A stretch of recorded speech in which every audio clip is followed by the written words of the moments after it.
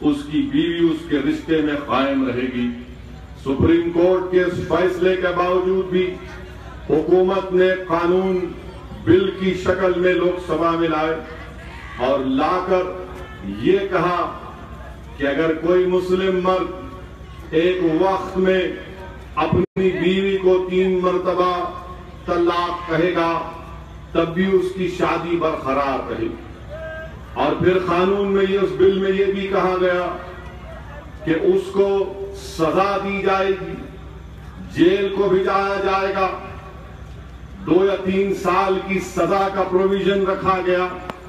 اب آپ مجھے بتائیے کہ اگر کوئی ایک مرد غلطی کرتا ہے، بلکہ گناہ کرتا ہے، اگر ایک وقت میں تین بار اپنی بیوی کو اس طرح سے کوئی طلاق دیتا ہے، تو وہ گناہ ہے۔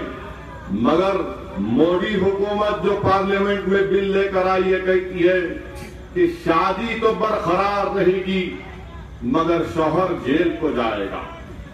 اب اگر کوئی شوہر جیل کو جائے گا، تو جب وہ جیل میں بیٹھا رہے گا، وہ گناہگار، مان لیجیے کہ اس نے کہا یہ بات، تو جب تک وہ جیل میں رہے گا، وہ ہماری اس بہن کا خیال، اس کا گھر اس کے بچوں کو کھانا، اس کے بچوں کو سکول کی فیس کا انتظام کون کرے گا؟ اگر ایسا ماحول پیدا ہوتا ہے اور وہ مرد گناہ کرتا ہے تو اس مرد کے گھر والے اس بیوی کو گھر سے نکال دیتے ہیں۔ کہ تیری وجہ سے ہمارے گھر کا بیٹا، ہمارا بھائی جیل کو گیا۔ وہ آؤ ہماری بہن جب گھر سے نکل جاتی ہے تو اگر اس کا والد زندہ ہوتا ہے تو اپنے والد کے گھر کو چلے جاتی ہے۔ اگر والد کا سایہ اڑ گیا، اگر اس کے بھائیوں میں ہمدردی ہوتی ہے، غیرت اور حمیت ہوتی ہے، تو وہ اپنی بہن کو پناہ دیتے ہیں۔ ورنہ میں نے اپنی زندگی میں دیکھا کہ ہماری بہنیں قصبہ پرسی کی عالم میں زندگی گزارتی ہیں۔ وہ جیل میں بیٹھا رہے گا اور جیل سے جب نکلے گا، تو قانون یہ بنانے جا رہے کہ جیل سے نکلے گا تو وہ بیوی کو اپنی اپنا لے گا۔ اگر کورٹ اس کو سزا دیتی ہے، تو وہ دو سال، تین سال کی سزا کاٹنے کے بعد جب باہر نکلے گا، تو پھر سے اس بیوی کو قبول کر لے گا اور وہ بیوی اپنے شوہر کو قبول کر لے گی۔ آپ بتائیے کہ دو سال تک، تین سال تک کیوں عورت ایک ظالم کے ساتھ جو اس کے ساتھ رہے؟ جس کو دین کے بارے میں نہیں معلوم، جس نے اس عورت پر ظلم کیا، ایک مرتبہ تین بار طلاق کہہ کر یعنی یہ قانون جو بنانے جا رہے ہیں، وہ ایسے ظالم مردوں کو اور طاقت بخشتا ہے اور مظلوم خواتین کو اور کمزور کرتا ہے۔ اس قانون کے خلاف ہم تمام نے آواز اٹھائی۔ All India Muslim personal law board جس کا میں رکن ہوں All India Muslim personal law board نے پورے ہندوستان میں ایک ملگیر مہم کا آغاز کیا۔ جلسے ہوئے، اس کے بعد ہماری ماں اور بہنوں نے خاموش جلوس نکالا۔ ہندوستان کے بڑے بڑے شہروں میں، مہاراشٹرا کے ہر شہر اور گاؤں میں ہماری عزت دار ماں اور بہنوں نے خاموش جلوس نکال کر اپنی ناپسندگی کا اظہار کیا۔ اس قانون کے خلاف، اس بل کے خلاف۔ آج بھی ہندوستان کے وزیر اعظم بار بار یہ کہتی ہیں کہ میں مسلم خواتین کے انصاف کے لیے، مسلم ماں اور بہنوں کے انصاف کے لیے یہ قانون، اس بل کو قانون کی شکل دوں گا۔ راجیہ سبھا میں یہ بل پینڈنگ ہے۔ میرے بھائی، میں آپ کے سامنے اس بات کا اظہار کرنا بہت ضروری سمجھتا ہوں۔ یہ مجلس اتحاد المسلمین کا جلسہ ہے۔ یہاں کے صدر نظام صاحب نے جلسے کا انعقاد کیا۔ یہ آپ کی ہر دل عزیز جماعت، آپ کی آواز اور آپ کی پہچان، آپ کی جماعت کا جلسہ ہے۔ ہندوستان کے لوک سبھا میں جب اس بل کو پیش کیا گیا، شروعات کے سٹیج میں ہندوستان کی لوک سبھا میں اگر کسی نے نوٹس دے کر اس بل کے انٹروڈکشن پر مخالفت کسی نے کی، تو جا کر ریکارڈ دیکھ لیجیے، شروعات میں مخالفت، میں جس نے مخالفت کی پارلیمنٹ کے قواعد اور قانون کے مطابق، تو وہ آپ کا خادم اسد الدین اویسی تھا، جس نے اس بل کے انٹروڈکشن کے سٹیج پر مخالفت کی۔ اور میں نے جواب دیا میں نے حکومت کو متنبع کیا اور بتایا کہ یہ جو بل آپ لے کر آ رہے ہیں، یہ ہندوستان کے کانسٹیٹیوشن کے آرٹیکل 14 اور 15 کا وائلیشن ہے۔ یہ ہندوستان کے فنڈامنٹل رائٹ کی خلاف ورزی کرتا ہے۔ اے خاموش بیٹھو تم، کوئی نہیں سنے گا تمہاری بات، یہ شریعت کی بات ہو رہی ہے۔ تم کو اگر اپنے باپ کے بارے میں بات کرنا ہے، باہر نکلو یہاں سے۔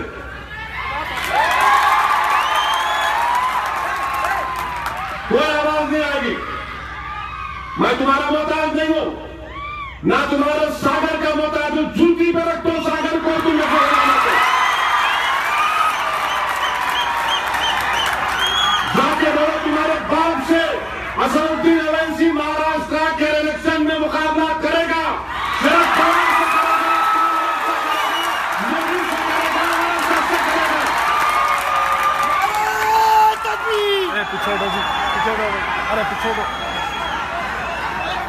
میرے عزیز دوست اور بزرگوں، پارلیمنٹ میں بل پیش ہوا اسی طرح کے یہ پکارنا شروع کرے وہ اسی کھڑا ہو گیا وہ اسی کھڑا ہو گیا۔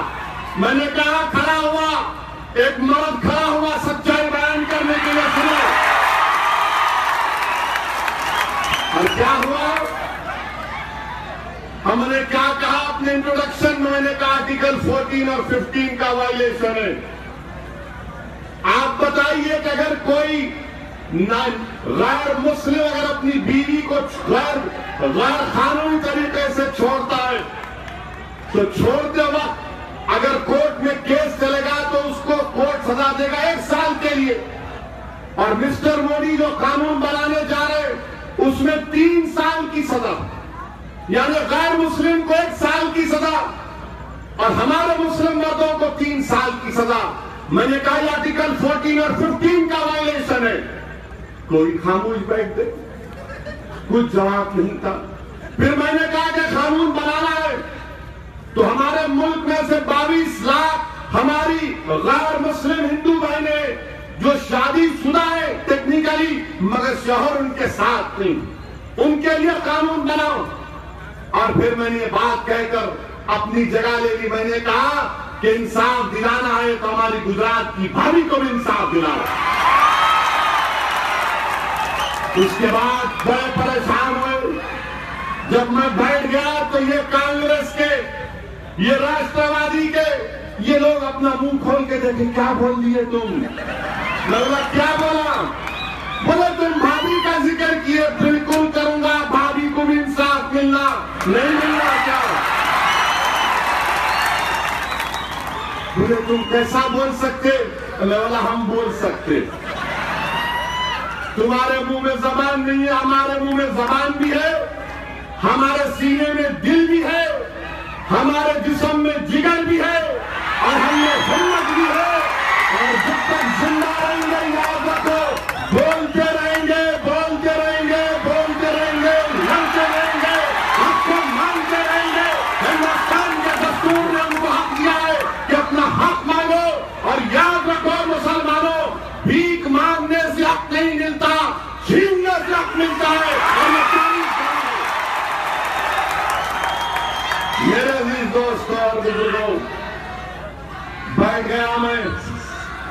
لوک سبھا میں بحث ہوئی۔ میں آپ کو ذمہ داری کے ساتھ بتا رہا ہوں کہ ہندوستان کی لوک سبھا میں دو لوگوں نے اس بل کی مخالفت کی۔ ایک تامل ناڈو کے ایک مسلم ایم پی نے یا ایک ڈی ایم کے کے۔ دوسرا اسد الدین اویسی نے۔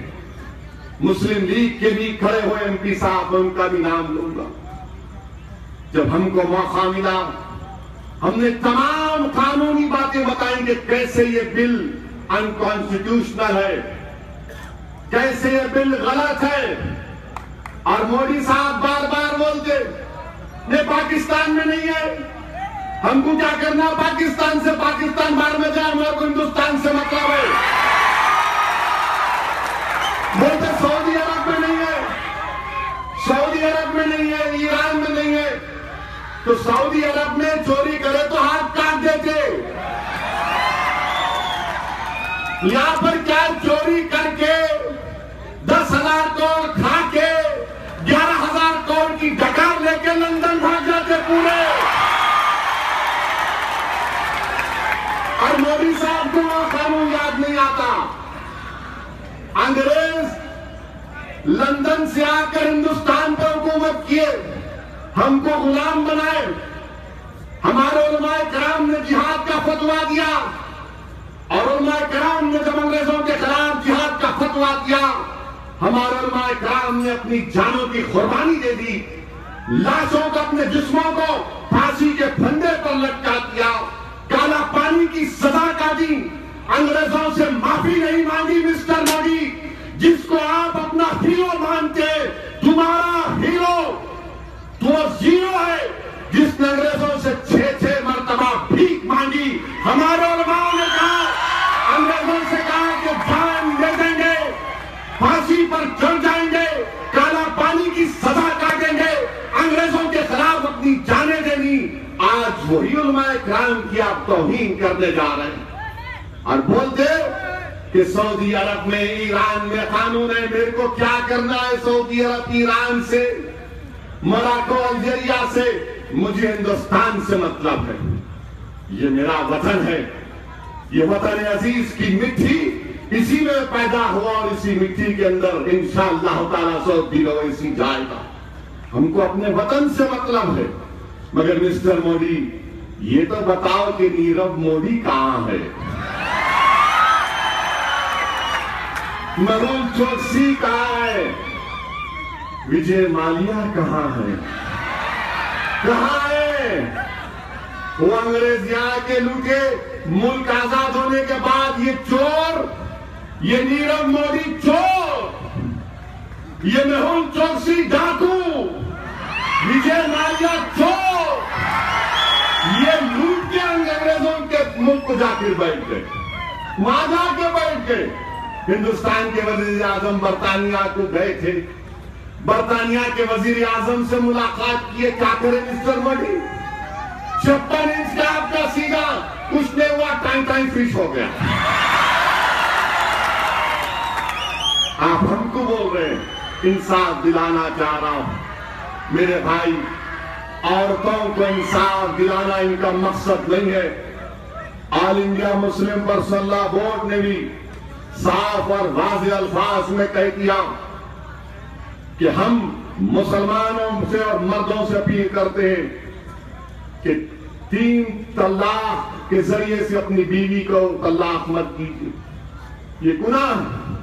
بلکہ مسلم پرسن لا بورڈ نے یہاں تک کہا کہ ایسے مسلمانوں کا سماجی بائیکاٹ کریے۔ یہ مسلم پرسن لا بورڈ کا سٹائل مگر ہندوستان کے وزیر اعظم شریعت میں مداخلت کرنا چاہتی ہیں۔ ہم وزیر اعظم کو بتانا چاہتی ہیں کہ شریعت میں مداخلت کبھی نہیں ہو سکتی اور نہ کبھی ہم اس کو برداشت کریں گے۔ ہم ہندوستان کے وزیر اعظم کو صرف ایک پیغام دینا چاہتے ہیں کہ امام احمد بن حنبل رحمت اللہ علیہ، امام احمد، امام شافعی کے شاگرد، امام شافعی رحمت اللہ علیہ نے خواب میں دیکھا۔ کہ اللہ کے رسول صلی اللہ علیہ وسلم آئے ہوئے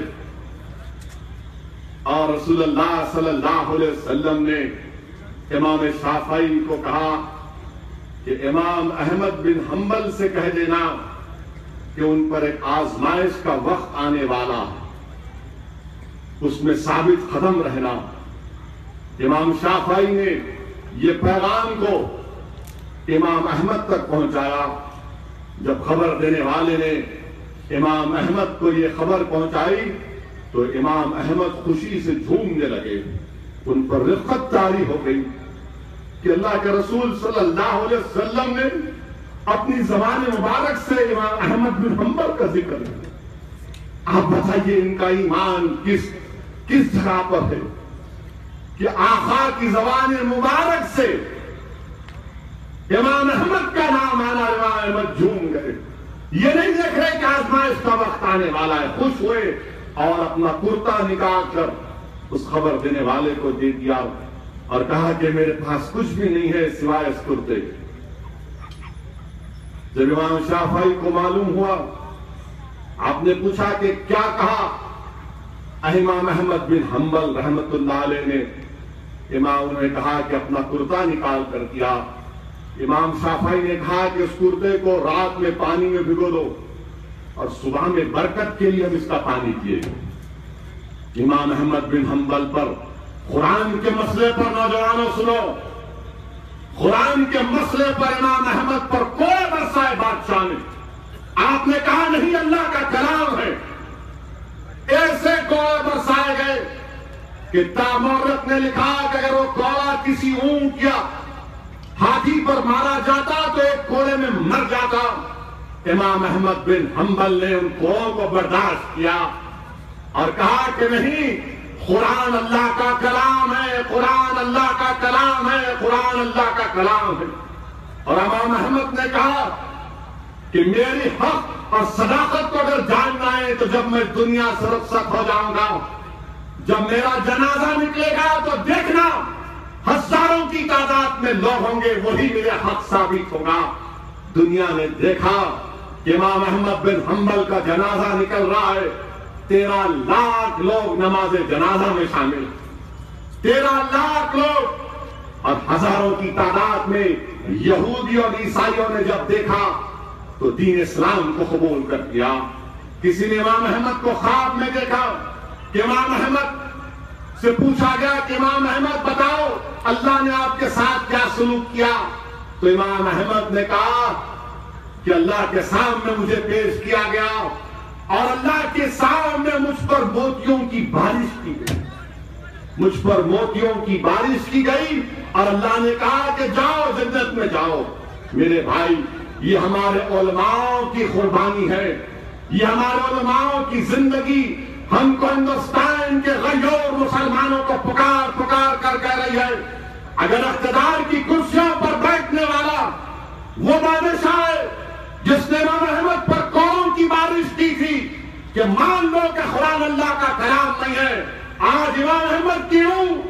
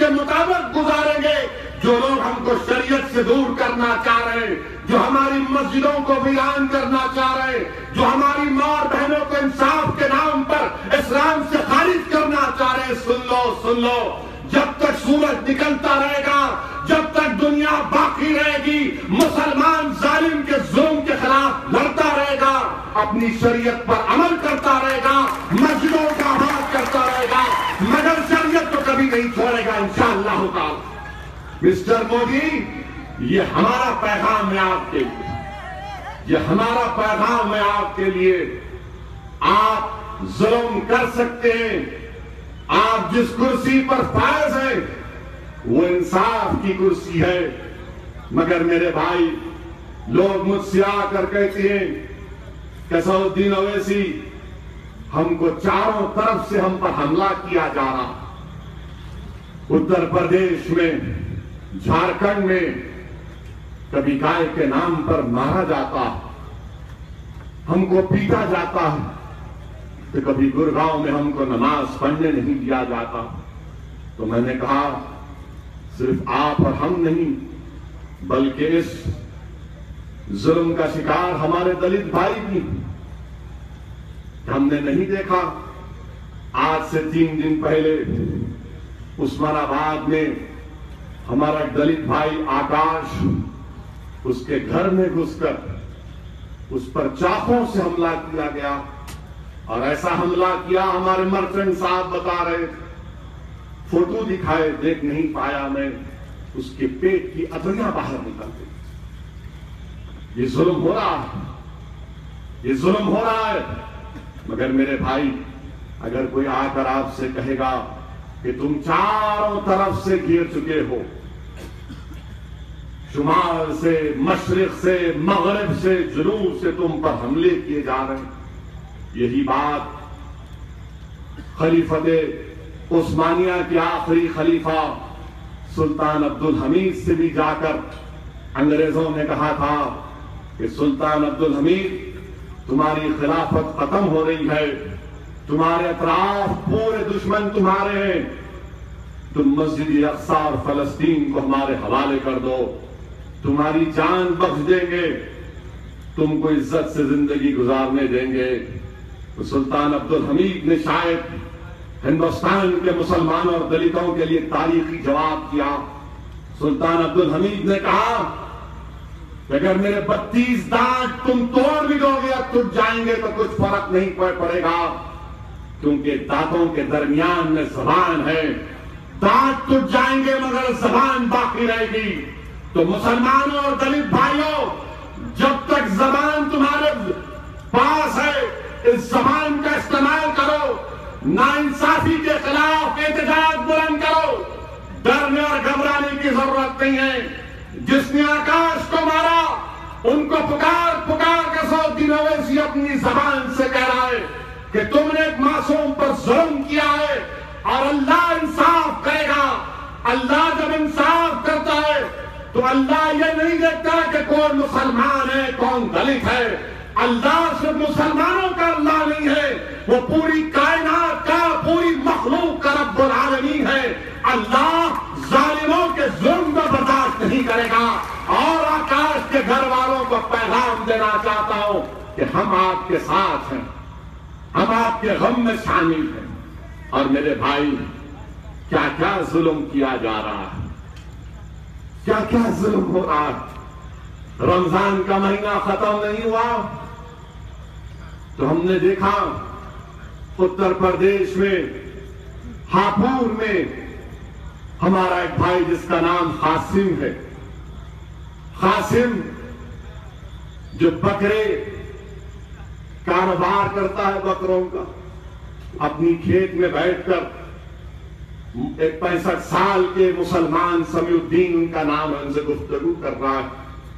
تو اچانک مجمع جمع ہو جاتا ماپ ماپ جمع ہو کر خاسم کو یہ کہہ کر مارتا ہے کہ تو گائے کاٹنے کے لیے آیا۔ وہاں پر کوئی گائے نہیں تھی۔ عید کے دو دن کے بعد قاسم کہتا ہے کہ نہیں، میں گائے کاٹنے نہیں، یہ کھیت ہے۔ سمی الدین کہتا ہے کہ میری کھیت میں گائے آئے تھے، اس کو ہٹانے آئے تھے۔ ہم لوگ بیٹھ کر یہاں پر بیڑی مار رہے تھے۔ کوئی نہیں سنتا۔ اور قاسم کو اتنا مارتے اتنا مارتے ہیں۔ مار مار کر قاسم کے پیروں سے اس کا جسم نکل جاتا ہے، گوشت کا ٹکڑا نکلتا ہے۔ زخمی حالت میں قاسم پڑا ہوا ہے۔ زخمی حالت میں قاسم پڑا ہوا ہے۔ اور پکار کر کہتا ہے کہ بھائی ذرا پانی پلا دو، کہ بھائی ذرا پانی پلا دو، کہ بھائی مجھے پانی پلا دو۔ تم نے مارا مجھے، میرے جسم کی ہڈی بوٹی کو تم نے ایک کر دیا۔ میرے جسم کا کوئی حصہ باقی نہیں ہے کہ تم نے گائے کے نام پر مجھے مارا۔ دیکھو میرے پیر کا گوشت نکل گیا، مجھے پانی دو پانی دو، پانی پلاؤ۔ تو مارنے والوں نے قاسم کو پانی نہیں پلایا۔ جب قاسم کے جسم میں آخری سانسیں تھیں، تو ہم نے اور آپ نے دیکھا، دنیا نے دیکھا، مسٹر مودی نے بھی دیکھا ہوگا کہ قاسم کے دونوں ہاتھ پکڑ کر اور دونوں پیر پکڑ کر کھینچ کے لے کر جا رہے ہیں۔ سامنے حضرت پولیس ہے۔ فوٹو لے رہے ہیں۔ میرے بھائی جب میں نظارہ دیکھا تو اپنے آپ کو روک نہیں سکا میرے آنکھوں سے آنسو نکل گئے۔ کہ ایک مسلمان کو مار رہے اور جب وہ پانی کی بھیک مانگتا ہے تو یہ ظالم پانی بھی نہیں دیتے۔ اور پھر تو زندگی کی آخری سانسیں تو اس کو اس طرح سے گھسیٹ کے لے کر جا رہے جب میں نے اخبار میں دوسرے دن دیکھا کہ مدھیہ پردیش کے جنگل میں ایک شیر کو اڑیسہ کے جنگل میں ٹرانسفر کیا جا رہا ہے، تو اس کو بے ہوش کیا جاتا اس شیر کو بڑی نزاکت اور نفاست کے ساتھ ایک سٹریچر پر رکھا جاتا ہے۔ اس پر کپڑے اڑائے جاتے اور اس بے ہوش شیر کو اٹھا کر گاڑی میں رکھ کر لے کر جاتے ہیں۔ ہندوستان کے میں ہمارے ہندو بھائیوں سے کہنا چاہ رہا ہوں۔ ٹھیک ہے، میں گناہگار ہوں، میں غلط ہوں۔ میں فرقہ پرست ہوں، آپ کا ہر الزام قبول ہے۔ ہندوستان کا سب سے بدنام اور گندا آدمی کا نام اویسی ہے۔ میں آپ سے ہاتھ جوڑ کے اپیل کر رہا ہوں، ایک شیر کو ایک جنگل سے بے ہوش کر کے دوسرے جنگل کو لے کر جایا جاتا ہے۔ تو سٹریچر پر لے کر جاتے ہیں اور ایک مسلمان جس نے گائے کو نہیں مارا، نہیں کاٹا، اس کو اس طرح سے لے کر جا رہے ہیں کو کھینچ کے لے کر جا رہا ہے۔ کیا یہ انسانیت ہے؟ کیا یہ اس طرح سے آپ ہم سے سلوک کریں گے؟ کہاں ہو گیا آپ لوگوں کو؟ کہ ایک شیر کو کپڑا اڑا کر اور ایک مسلمان انسان کو، چھوڑیے مسلمان ایک انسان کو، کوئی دو ہاتھ اور دو پیر پکڑ کر گھسیٹتے ہوئے لے کے جا رہے کہاں گئے انسانیت کہاں گیا وہ جنگا جمنی تہذیب کہاں گیا ہندو مسلمانوں کی محبت کہاں گیا سب بتاؤ مجھے۔ میں جاننا چاہ رہا ہوں کوئی قاسم کی بات کرے گا یا نہیں کرے گا۔ ہمارے بھائی کو مار کر ایک جنگلی جانور کی طرح اس کو اٹھا کر لے کر جا رہے ہیں اور ایک شیر کو بے ہوش کر کے کپڑا اڑا کر۔ یہ ہماری زندگی کیا ہے؟ یہ ہماری عزت ہے، یہ ہماری ڈگنیٹی ہے۔ اب بولو کیا بھڑکاؤ بھاشن ہے؟ میں سچائی کا بیان کر رہا ہوں آپ کے سامنے میرے بھائی۔ میں قاسم کی مری ہوئی جسم سے تم کو آواز دے رہا ہوں کہ میں نے پانی کی بھیک مانگی۔ تو یزید کی طرح، اس کے ہماریوں کی طرح، امام حسین، نواز رسول اہل بیت پر پانی بند کرنے والا یزید پانی کو ترسانے والے اور طرح قاسم کو تم نے ترسا ترسا کر مار دیا۔ بتائیے آپ، مجھے کیوں غصہ آتا ہے؟ میری زبان اتنی کڑوی کیوں ہے؟ تمہارے ظلم کی وجہ سے، تمہارے دھوکے کی وجہ سے، تمہاری منافقت کی وجہ سے جو لوگ آ جا کر گنگا جمنی گنگا جمنی گنگا جمنی کی بات کرتے، دیکھو، قاسم کو جو مارا گیا، کیا وہ گنگا جمنی؟ معاملہ تہذیب تھی۔ میں بھی چاہتا ہوں کہ ہندوستان میں گنگا جمنی تہذیب ہو۔ زندہ رہے، مگر یاد رکھو میری اس بات کو، یہ تہذیب نہیں رہی، یہ صرف کتابوں میں باقی ہے آج۔ اور جو ہمارے بزرگ، جو دلی میں بیٹھ کر اس طرح کی بات کرتے میں ان سے بھی کہنا چاہ رہا ہوں کہ آپ مجھ سے اختلاف کریے ضرور۔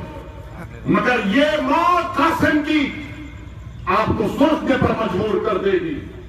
میرے بھائی، اتر پردیش میں قاسم کو مار دیے۔ اور پھر کیا کیے؟ وہ سمیع الدین جو پینسٹھ سال کا بوڑھا تھا، اس کے سر پہ تین تین گوڑے ہاتھ کر گیا یہ ہتھیلی کٹ گئی یہ ہاتھ کر گیا۔ پینسٹھ سال کا بوڑھا وہ تمہارا باپ بھی ہو سکتا ہے۔ تم آج بھیڑ میں بیٹھ کر اپنے آنکھوں میں آنسو لانے کے لیے میں تم سے نہیں کہہ رہا ہوں۔ میں تمہارے زمین کو جھجوڑ رہا ہوں کہ اٹھو بیدار ہو؟ یہ سیکولرزم کی باتیں کرنے والے سب سے بڑے ڈاکو ہیں۔ سب سے بڑے منافق ہیں۔ جنہوں نے ستر سال سے مسلمانوں کا استحصال کیا۔ ہم کو ڈرا ڈرا کر رکھے۔ آج منگس تمہارے درمیان میں آ کر کہہ رہی ہے کہ سیکولرزم کو اگر زندہ رکھنا ہے، تو اپنے حق کے لیے لڑو۔ ایک سیاسی طاقت بناؤ۔ اپنے امیدواروں کو کامیاب کرو۔ ڈرنے اور گھبرانے کی بات نہیں ہے، بلکہ اگر مسلمان سیاسی طور پر مضبوط ہوگا ہندوستان کی جمہوریت مضبوط ہوگی۔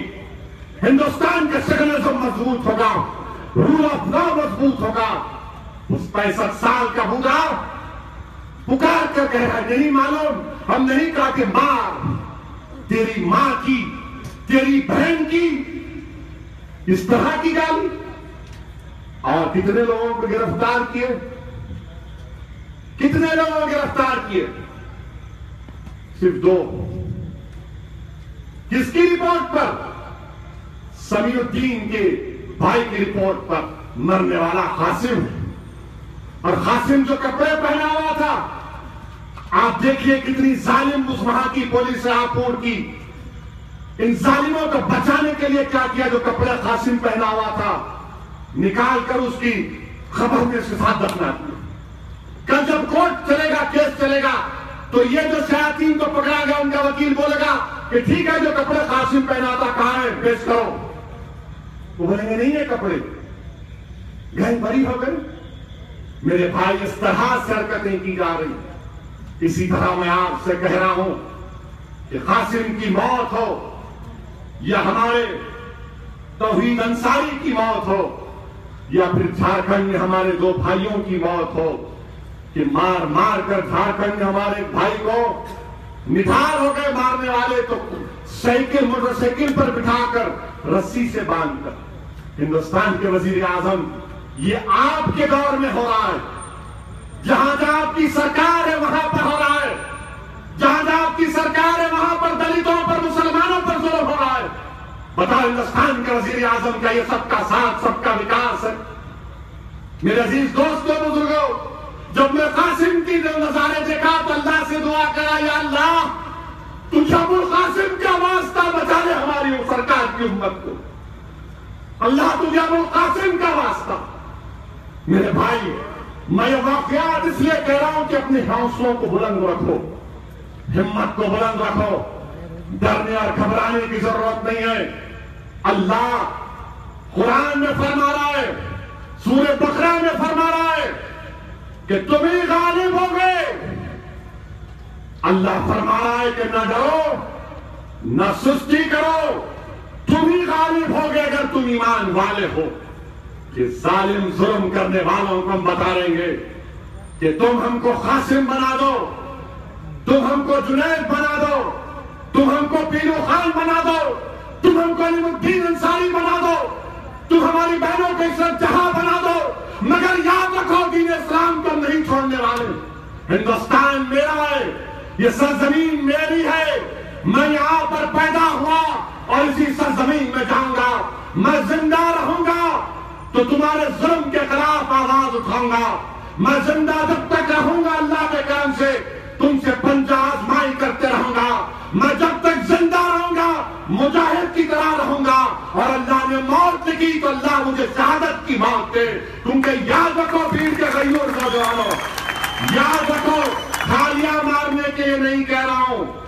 بہادری کا نام یہ ہے کہ تم ظالموں سے مت ڈرو۔ ہندوستان کے کانسٹیٹیوشن پر بھروسہ رکھو۔ اپنے حق کے لیے لڑو۔ غیور نوجوانوں سنو میرے پیغام کو۔ فرعون کو بھی زان تھا، نمرود کو بھی زان تھا، مگر اللہ نے فرعون کو اسی پانی میں ڈبو کیا اقتدار کی کرسیوں پر بیٹھنے والا، یہ فرعون اور نمرود کا جانشین ہے۔ یہ یزید کا چیلا ہے۔ انشاءاللہ تعالی اس کا خاتمہ ہوگا دیکھنا تم۔ اس کا خاتمہ ہوگا تم دیکھنا۔ اور اللہ قرآن میں فرما رہا ہے کہ ظالموں کا ساتھ مت دو۔ ظالموں کا ساتھ مت دو۔ اور پھر کانگریس پارٹی جو ہم سے کہتی ہے کہ ووٹ کاٹتے ہیں، لڑتے ہیں۔ کرناٹکا میں کیا ہوا پیارے؟ کیا ہوا پیارے؟ مندر مندر گئے چھوٹے۔ کیا ہوا ہم الیکشن نہیں لڑے تو بھی تم ہارے؟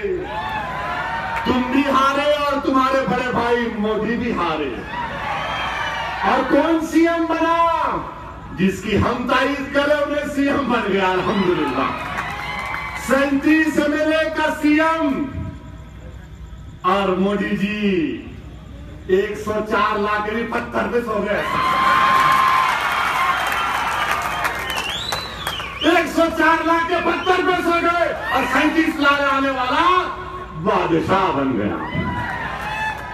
کانگریس کے پاپیوں Pranab Mukherjee R S S کے ہیڈکوارٹر پہ گئے۔ اویسی اور کاٹتا وہ بھوت بننے والے سن تمہیں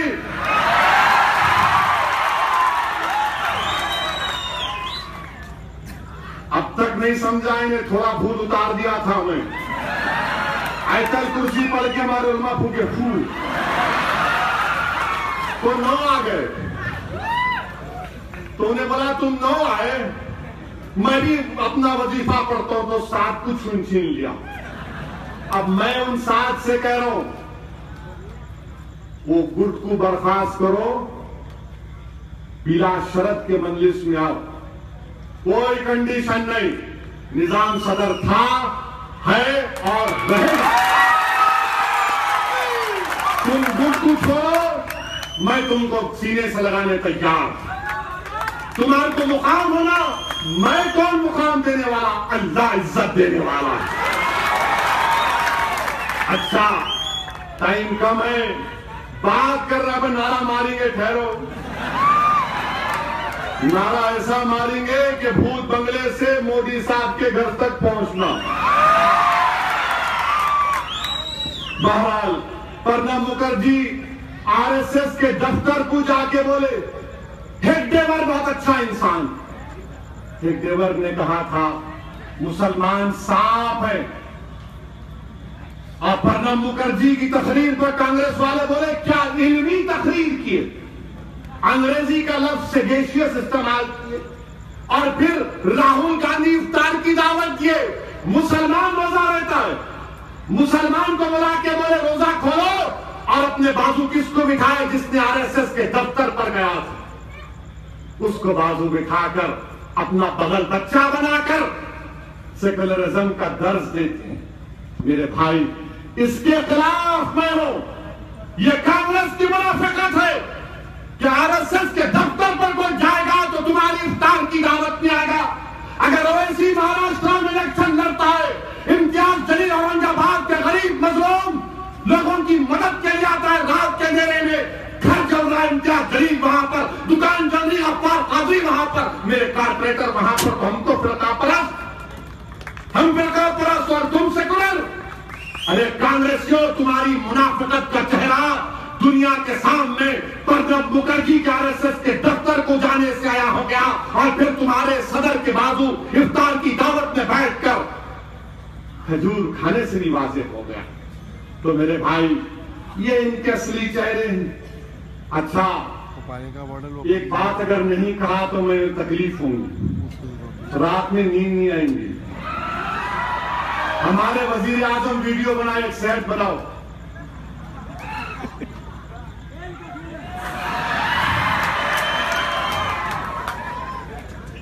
اچھا یہاں آپ ہاتھ اٹھا کر بتاؤ، کتنے لوگ صرف دو ٹائم کا کھانا کھاتے شرماؤ صرف دو ٹائم کا کھانا کھا اچھا کتنے لوگ ایک ٹائم کا کھانا کھا شرماؤ نہیں میرے بھائی، ہندوستان میں غریب، مسلمان دلیت اور کسان، ایک ٹائم کا کھانا کھا کے سوتا وزیر اعظم، پتھر پر سوتا مسٹر مودی۔ آپ وزیر اعظم بن کر کھانا کھا کر پتھر پر ایکسرسائز کر رہے ہیں اور ہندوستان کا غریب بھوکا رہ کر پتھر پر سو رہا کسان اپنی فصل کو نہیں اگا سک رہا خودکشی کر رہا۔ یہ ہماری جمہوریت ہو چکی ہے میرے بھائی۔ اور بھیما گورے گاؤں میں جو لوگوں کو پکڑا گیا کل اگر کورٹ میں کہا جائے گا کہ وہ خط ڈپلیکیٹ تھا، تو کیا ہوگا؟ کورٹ کے ریکارڈ میں وہ خط نہیں پیش کیا گیا۔ الیکٹرانک ایویڈنس کا قانون یہ ہے کہ پہلے اس پروفیسر کو بجانا ایگزامن کرنا رپورٹ کو کورٹ میں شامل کرنا یا پہلے سے لیک کر دی میرے بھائی بہرحال، آپ کی جماعت مجلس سے وابستہ رہیے، مضبوط رہیے، اختلافات کو ختم کرو۔ جماعت اثر الدین اویسی اور نظام سے بڑی ہے، جماعت شخصیتوں سے بڑی ہے۔